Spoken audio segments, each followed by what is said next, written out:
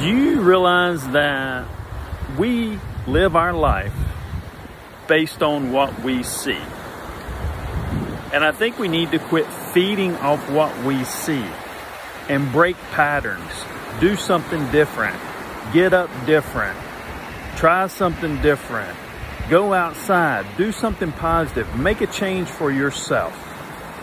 Because we see so many opinions and controversy that's around us on a daily basis because we're only feeding off the same thing every day. If we stop feeding off the same thing every day, we will eliminate opinions and controversy. If we feed on the same thing every day, we continue to have opinions and controversy. Something to think about, folks.